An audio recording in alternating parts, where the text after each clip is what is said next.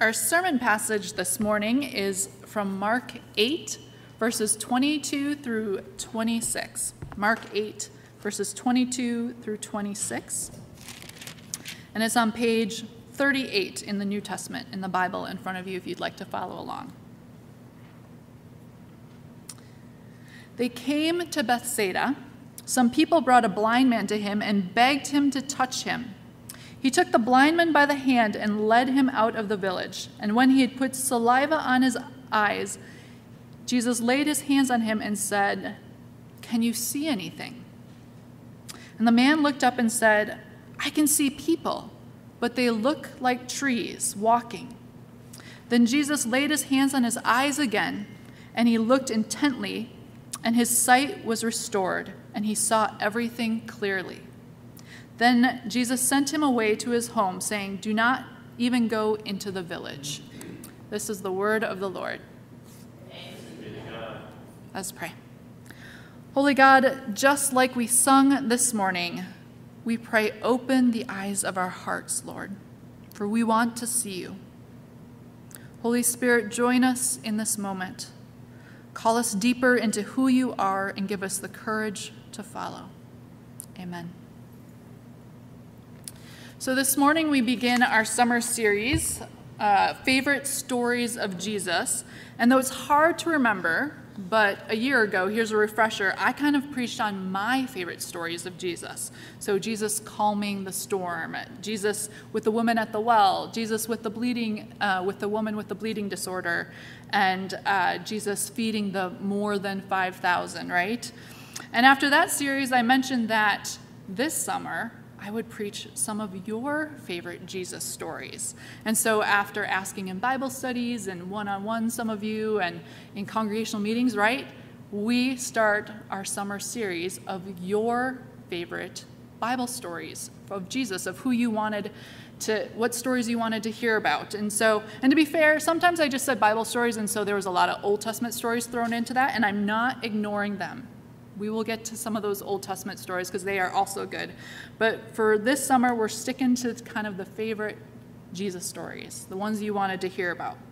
And so last week, I'm very grateful for Reverend Rodney Sawyer, who was here last Sunday as I was away, and he picked his actually favorite Jesus story. Um, so I guess it actually started last week a little bit, and he picked right the calling of the disciples the first time, and he reminded us that following Jesus is not about creating comfortable environments for ourselves, that we need to be on guard for that. Often, Jesus comes into those comfortable routines or comfortable spaces that we've created and, and asks us to step out of them. And so, in the stepping out in faith, it's, it's when we step out of those comfort zones that we have our eyes open to all that God is doing and, and asking us to join with God in doing it. And so it was a very timely reminder.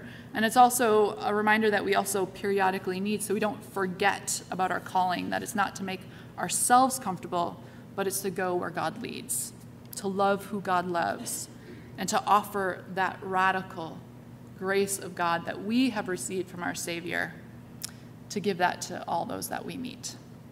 So this morning, we continue and it's quite an odd story. So thank you for whoever called this one out when I asked about thank you of stories that they wanted to hear about.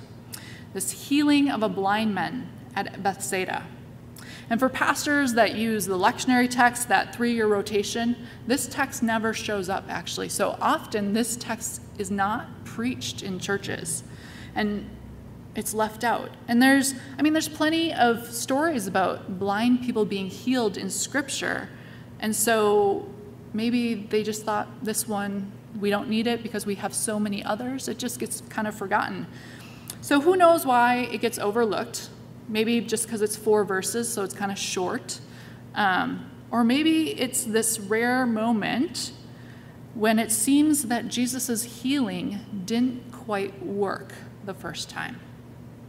In Mark, Jesus has begun his healing ministry in revealing the kingdom of God to those around him. He's been fulfilling his purpose of coming, of teaching, of healing, forgiving, loving.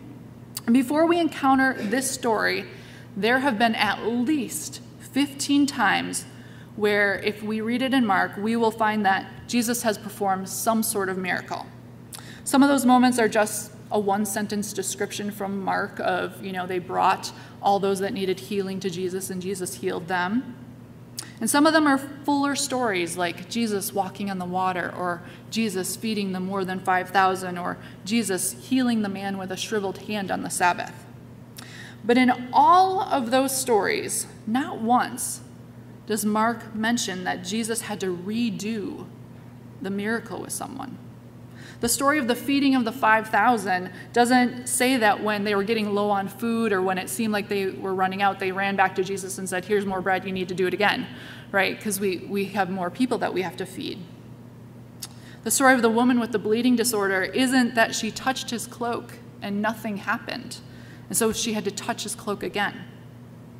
And all the prior healing or miracle stories of Jesus' power, of miracle stories of Jesus, it's his power, his authority, his effectiveness in healing that are marveled at. So, what is going on in this story? Is it that this man's blindness was particularly difficult or stubborn, and so Jesus needed to have another go at it? Maybe.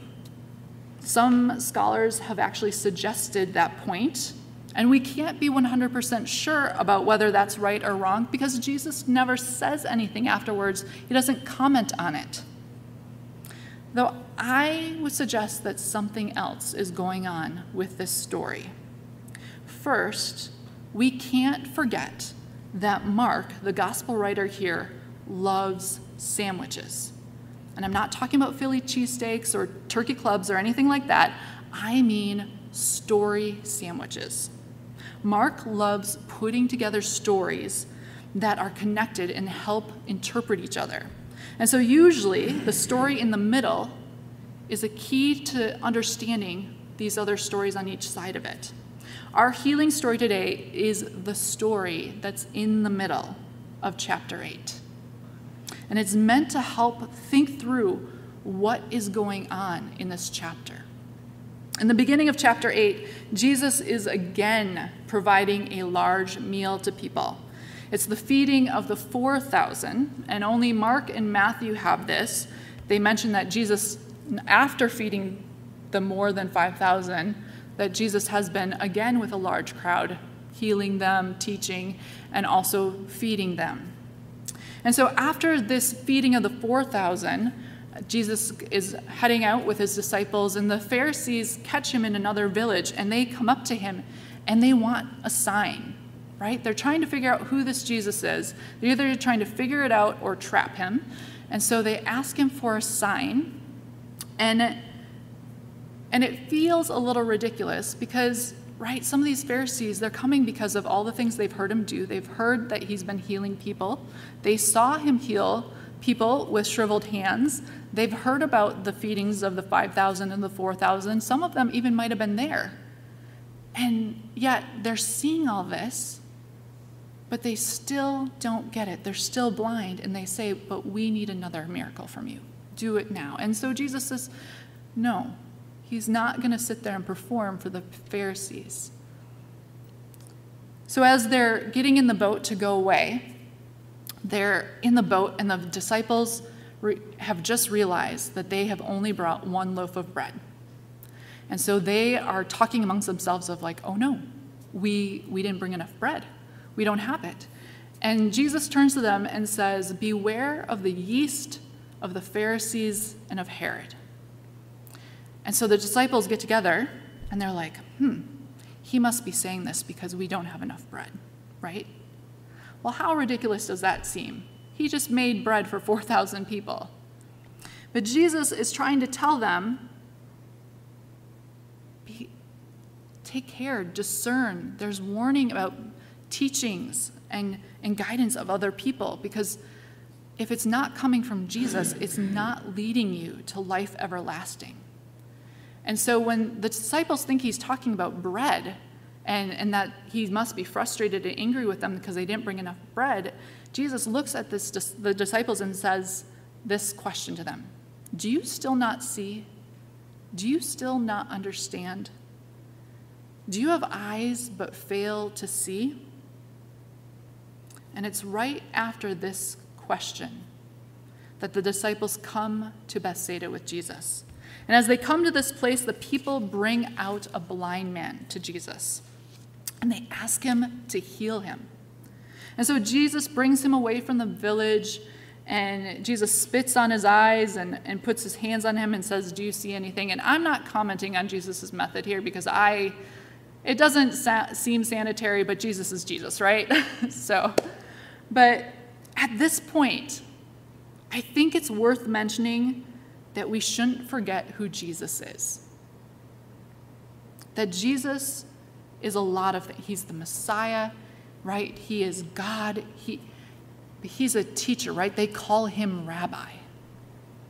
And if there's anything about teachers, we know they love teaching through relatable things, right? Teach, Jesus uses examples that his disciples and the crowds will understand. He talks about mustard seeds because they know what a mustard seed is. He talks about vineyards because they know what a vineyard is. He talks about shepherds. They know what shepherds are. And so Jesus uses all these examples to help them know who he is, to help them explain, explain what the kingdom of God is. And so, in a similar way, in this healing story, it's really an object lesson for his followers. Jesus is using this moment not only to open the man's eyes that has been brought to him, but also to open his disciples' eyes, to get them to see what he's been trying to teach them, what he's been trying to show them. And Mark is very good, I think, in copying, copying Jesus' intent. And so he's putting this story right here in the middle to open our eyes also into what's going on. The first attempt at healing leads to some distorted clarity. The blind man isn't completely blind anymore, but he's still not seeing things clearly. He's seeing people and they, they look like trees, right? And so Jesus puts his hands on the man's eyes again, and his eyes are opened. He sees everything clearly. Our last part of this Mark sandwich comes right after then, this healing. And Jesus is with his disciples. They've walked on and they're walking to other villages. And as they're walking, Jesus turns to his disciples and he asks them, Who do people say I am? And the disciples give the most common answers that they, they have been getting. They think Jesus is John the Baptist or Elijah or another prophet. And Jesus says, But who do you say I am? Who do you say I am? And Peter, in one of his shining moments, answers, You are the Messiah. Can you see the transition of sight that is happening with the disciples here? One of the big questions throughout Scripture for people and for his disciples, the one they have to discern is who, who is this Jesus? Who's this person and, and how are we to respond to him? Prior to the healing story, the disciples were worried about bringing enough bread along for the trip. And they had just seen Jesus multiply so much bread and fishes to feed 4,000 people, right? Jesus is worried and concerned about them listening to false prophets and false teachings and asking them to be wary about who their loyalties are lining up with. But the disciples are hung up on bread and blind to what Jesus is saying to them. Can you think of times when the church or individually we have been blind and focused on the wrong things when Jesus has been trying to get our attention? I think of all the arguments or rules that have been present throughout the life of the church.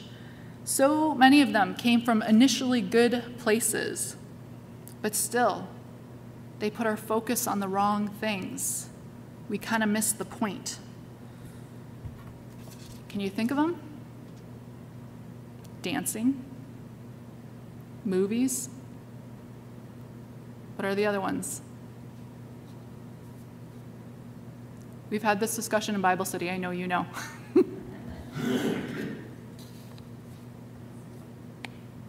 Cards, right? There's so many we could probably name that the church has kind of gone off track and, and said, oh, we're going to we're to make these rules here. What about some harder ones that get a little more controversial? Baptism. We're going to argue about whether baby baptism or believer baptism. And then we're going to argue about whether you can be sprinkled or if you have to be immersed. Right? And we're going to be over here, and Jesus is going to be like, guys, guys, Savior, right here. Follow me. Love God. Love each other. We're like, yeah, yeah, yeah, Jesus, just a minute. We haven't decided about sprinkling yet or immersion, right? Good intentions. I'm not belittling baptism, it is so important. But we have allowed so many arguments to separate us out because we can't discern this. So now we're going to be different denominations, we're going to go into different groups, we're going to, and Jesus is still over here trying to get our attention. Guys, can you see me? Can you see me? Right? The good news of this story, because there's always good news with Jesus, right? Amen? Amen? Amen. Is that God does not give up on us. God is persistent even when we don't see clearly. Jesus did not leave that blind man only seeing tree like humans, right? He touched the man's eyes again so he could see clearly. And Jesus did not leave his disciples, no matter how many times they got it wrong and were focused on the wrong things. After the moment of some clarity by Peter, you know, naming Jesus as Messiah, we, if we were to continue that story, we know how that story goes, right? Jesus mentions then, oh, he keeps on teaching and says, but I have to die. This is how I'm going to show you I'm the Savior and how I love you. I'm, I'm going to have to die. And Peter goes, whoa, whoa, whoa. No, Jesus, let's not talk that way, right? And Jesus has to tell Peter, no, Peter, get behind me, Satan. You're not thinking about this. You're not seeing it the way that I'm asking you to see it. Jesus did not leave his disciples, no matter how many times they got it wrong. He taught them up until his death. He then died for them, and then he came back and he taught them again what it all meant.